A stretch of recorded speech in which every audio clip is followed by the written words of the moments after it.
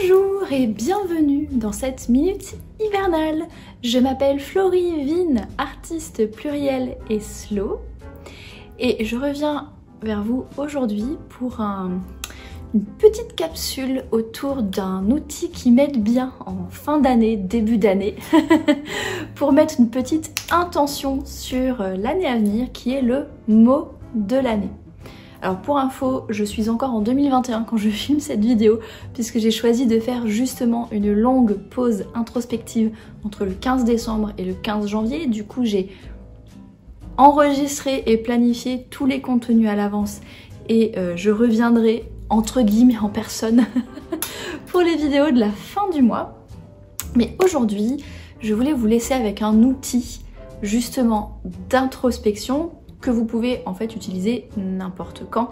Le début d'année, c'est simplement un symbole qui nous permet peut-être de nous rappeler, de faire un petit peu d'introspection et de réfléchir à tout ça. Mais bien évidemment que ça peut se faire n'importe quand, dans n'importe quel contexte. Et donc un outil que j'utilise depuis bien 6-7 ans maintenant, c'est ce qu'on appelle le mot ou le thème de l'année.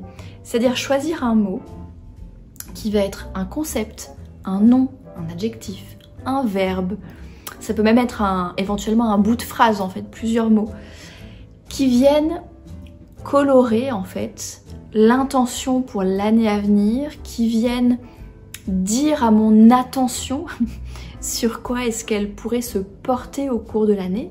Et ça permet de donner une coloration tout simplement hein, à l'année qui s'en vient, à venir donner une direction à mon intention personnelle pour l'année. Par exemple en 2020, ah, en 2020 je crois que mon mot c'était créer, en 2021 mon mot c'était savourer et en 2022 mon mot est apaiser.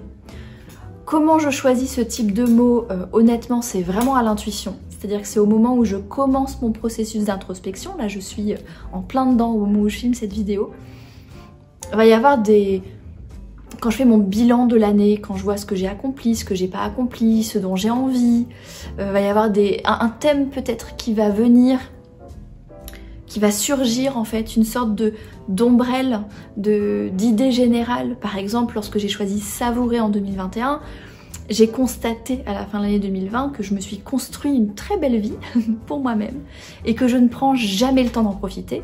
Et du coup, le thème savourer est venu naturellement à ma conscience pour l'année 2021 pour me rappeler de revenir dans le présent en 2021, de savourer les moments en 2021 et vous voyez la conséquence positive d'avoir choisi ce thème pour l'année 2021 a été effectivement de me recentrer vers une vie plus simple et sereine dans le monde moderne, de venir redéfinir la notion de la simplicité et du slow pour moi-même.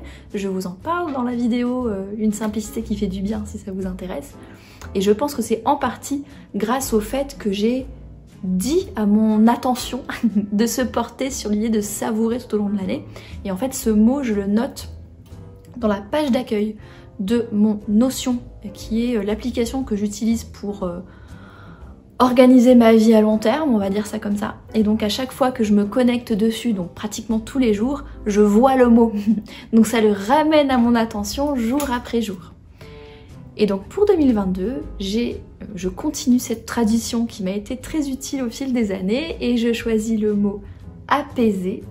Donc m'apaiser moi-même, apaiser mon quotidien, euh, apaiser mon mental qui pense trop tout le temps.